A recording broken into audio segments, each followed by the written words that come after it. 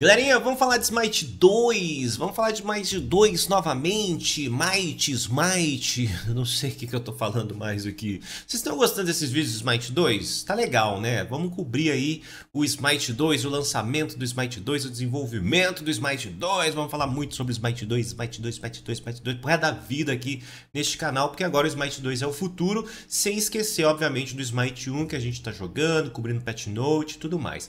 Mas vamos falar sobre os críticos no Smite 2, que é uma questão aí que estão me perguntando, como é que vai funcionar, se está funcionando, se vale a pena, se não vale a pena, por que, que a Harris fez essa mudança, por que, que essa mudança é legal ou não é legal para o game, a gente vai tentar responder nesse vídeo aqui, e são vídeos que eu estou gravando nesse formatinho aqui, conversando com vocês, sempre dando a minha opinião, e é importante que vocês deem a opinião de vocês também, mas vamos dar aquela opinião sem tentar, né, ofender o amiguinho aí, porque tá todo mundo nervoso nesses últimos tempos. O que que acontece? Críticos. Pode fazer crítico agora em qualquer personagem, galerinha. Dá pra fazer mir de crítico. Olha aí na imagem aqui, ó. Tá aqui, ó. Arauto da morte no crítico. Quer dizer que o Ymir vai bater muito com o crítico? Talvez, pode ser que ele bata pra caramba com o crítico aí, vai depender muito do balanceamento do Smite 2. Mas antes da gente chegar até o crítico aqui, tô com meu videozinho da live stream aqui, né?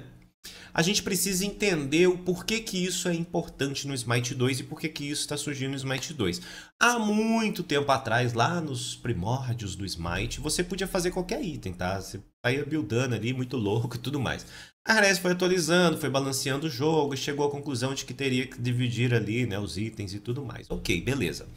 Só que no Smite 2 a gente está voltando para aquele período de uma forma um pouco mais. Um, como eu posso dizer? Um pouco mais esclarecida, com um pouco mais de bagagem, com um pouco mais de cuidado. Então no Smite 2 a gente teve essa mudança na questão de escalonamento de dano. Existe uma diferença entre dano mágico e dano físico e escalonamento de dano. Qual é a diferença? Dano mágico e físico todo mundo sabe o que, que é, né? O personagem bate com dano mágico, o inimigo vai usar proteção mágica para se proteger. O personagem bate com o dano físico, o inimigo vai usar proteção física para se defender. Isso não foi alterado. Mas o que foi alterado? Você tem força e inteligência como escalonamentos de dano. Alguns personagens escalonam somente com inteligência, outros personagens somente com força, e existem personagens híbridos que escalonam com inteligência e força. Então, esse foi o primeiro balanceamento, mudanças aí que a fez nos parâmetros para que você possa ter um, um, um, balanceamento diferente trazer novas opções, profundidade no gameplay em questão de builds e composições que você vai fazer para o seu personagem. Então a gente vai ter personagem que vai bater com ataque básico uh, dependendo de força, vai ter personagem que vai bater dependendo de inteligência, vai ter personagem que vai bater com habilidade dependendo de força, mas a outra habilidade dele escalando com inteligência, e a gente tem essa mistura aí. E para adicionar mais complexidade ainda, já aproveitando esse balanceamento, a Harris falou assim: ó, os personagens todos vão poder bater com crítico. E aí, o que, que a gente faz agora com esse crítico que está existindo aqui no Smite? Como é que tá rolando? Tô aqui com o Ymir, nessa gameplay, e aqui eu já tinha feito a anticura. Pô, tá sensacional, gente. Tá bonito demais, gente. Bonito demais. Tem uns ícones que estão fubangos. Eu não vou mentir, não, mas a Harez vai dar uma melhorada nisso daí. Mas tem ícone. Olha, esses, olha, essas, po olha essas poçõezinhas, cara. A poção de vida, que bonita. A poção de mana. Olha essa ruína. Sensacional, cara. Incrível, assim. A fazer, ai meu Deus, mas você se encanta por qualquer coisa. Fazer o quê, gente? É a vida, né? São os pequenos frascos que estão os melhores perfumes. É... E aqui eu comecei a puxar o crítico, ó. Tá vendo aqui que eu fechei o arauto? Mas aí a gente pode ver o item que eu tentei puxar aqui, ó. Só tirar o áudio pra gente não ouvir a minha voz é, a gente pode ver o item que eu comprei aqui, que é bem legal, ó. Vou abrir a loja. Toma! Tá bonito, tá bonito. Embora a loja esteja confusa pra caramba, né? Vou falar a verdade aqui, ó. ó. Aí eu confuso, sem entender nada. O que que eu compro, gente? O que que eu compro? Não, vou comprar arauto aqui, ó. Aí eu vi aqui, ó. O peixe. Me dá 10 de força e 10% de chance de crítico. Passiva. Quando eu causar dano crítico a um dos deuses inimigos, eu ganho 5% de movimento por 4 segundos. Eu acho que isso no inimigo vai ficar muito bom, tá? Aí eu já vim aqui já mandei o copeixe. Legal. Então, o meu personagem passa a ter chance de crítico. Isso quer dizer que os meus ataques básicos têm chance de aplicar dano crítico. As minhas habilidades têm chance de aplicar dano crítico? Não, apenas os ataques básicos, tá bom? Ó, toma, toma. Ainda não foi o crítico. Então a gente pode ficar despreocupado que não vai ter habilidade com dano crítico, tirando algumas habilidades, tipo a da Serquer, que aplica dano crítico ali, mas é o crítico do ataque básico aplicado na habilidade. Ó, subiu um crítico, viu? Ó o crítico aqui bonitinho, ó. Pô, eu vi uma galera reclamando que tem muita informação na tela. Eu não acho que tenha muita informação na tela, tá? A questão do dano. Eu acho que tá bem legal, inclusive. Uh, você tem uma sensação. É como se o jogo estivesse acontecendo dentro de uma revista de quadrinhos. Assim, eu não sei, não sei explicar para vocês. Eu sei explicar, mas enfim, é isso, é a minha explicação. É como se você tivesse onomatopeias aparecendo na tela, entendeu? E eu achei legal pra caramba, tá? O crítico, ele, ele veio num formato de onomatopeia. Você vai ver que ele vai subir aqui, ó. Pera aí que eu tenho que pausar na hora certa. Aqui não. Aqui. Olha aqui como ele sobe, ó.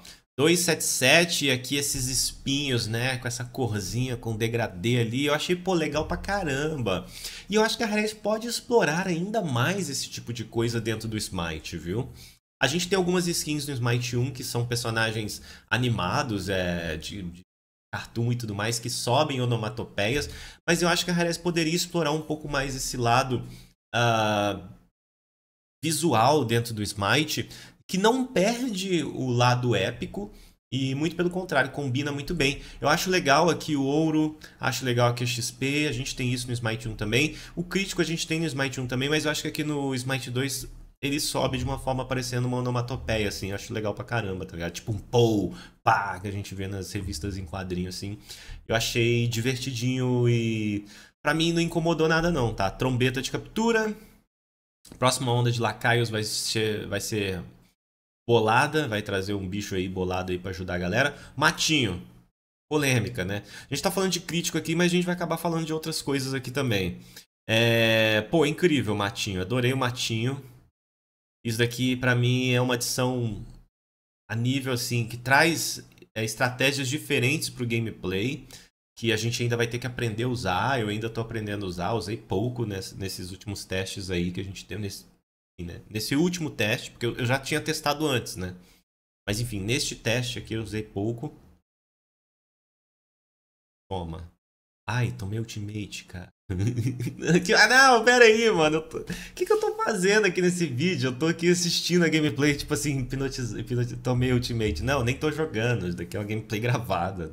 Pô, Smite 2 tá causando alguns, alguns efeitos diferentes em mim, assim, sabe? Uh... Pô, eu não gostei muito de, desse. Quando mostra aqui, ó, atordoado, ó. Toma. Eu não gostei muito é, ok, tá legal, mas eu não gostei muito. A, a, a barra, ela. Ela tá ok, mas eu acho que o que tá escrito aqui em cima, atordoado, tá muito grande, tá? Eles podem diminuir, olha, igual esse daqui, imune à lentidão, assim, tá muito grande e tal. Eu entendo que a gente precise uh, de, de, elementos gráficos para poder entender o que está acontecendo ali, mas eu acho que está muito grande. Eles podem diminuir um pouquinho a fonte, isso daí às vezes parece que polui a tela. E aí eu entendo o pessoal que está falando que polui a tela várias coisas, né? Mas eu adorei esse ouro XP subindo ali, cara. As cores estão bem legais, está bem mais vivo, né? Embora, é uma coisa que um ponto bem interessante. O Smite 2 ele tá menos cartoon do que o Smite 1.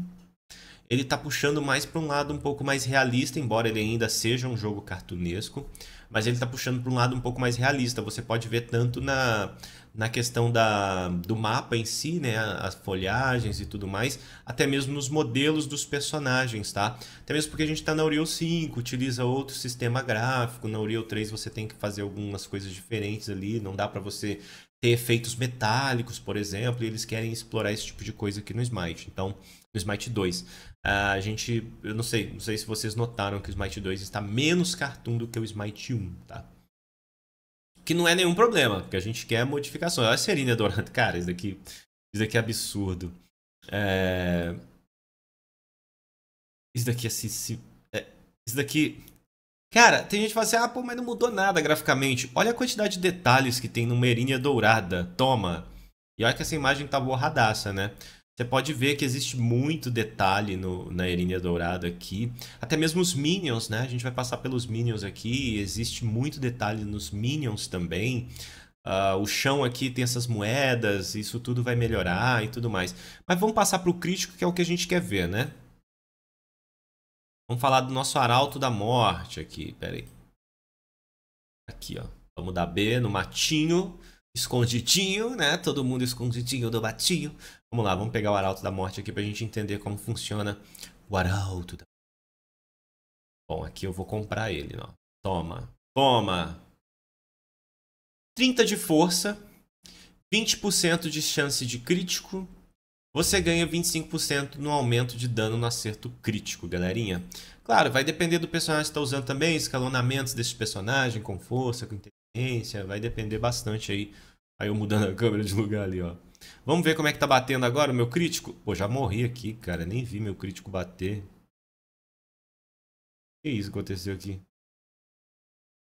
É porque é grande, né? Eu vou... Na hora que eu clico aqui, vai, tipo, pra um lugar muito maior. É porque a barra... É uma live gigantesca de 3 horas. 5 horas. Ó, oh, 412 no crítico ali no bicho. Maravilhoso. Ó, toma. Toma. Toma. Cadê o crítico? Cadê o crítico? Cadê o crítico? Ah, também tô com pouca chance de crítico aqui nessa build, né? Convenhamos. Vai, toma. A 2 dele tá sensacional. Pô, me decepcionou. Cadê o crítico?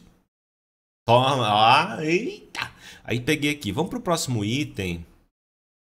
Aqui, galerinha, eu quis explorar